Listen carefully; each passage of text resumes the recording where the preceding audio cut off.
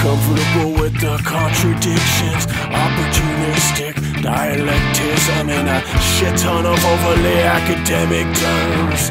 Caught in the afterthought, repackaged all the regrets that you had bought, and we're just tracing the damage patterns. And now we're just tracing the damage patterns. Did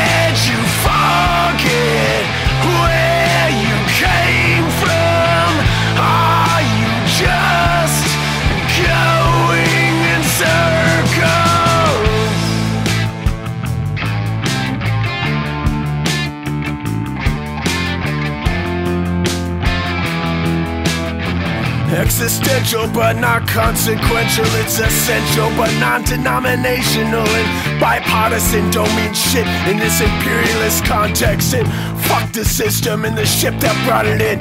Decolonial isn't an aboriginal sin. And 500 years later, we still resist. And it, it should be unsettling. And it should be very fucking unsettling.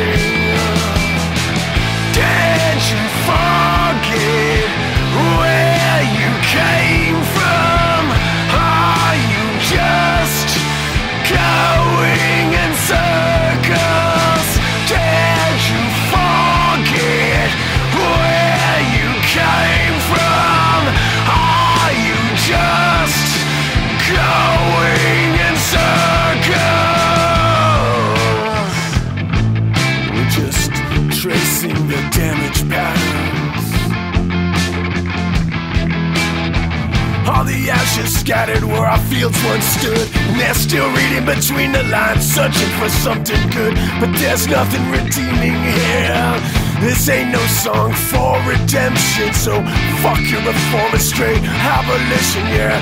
Fuck your reform and straight abolition. Did you?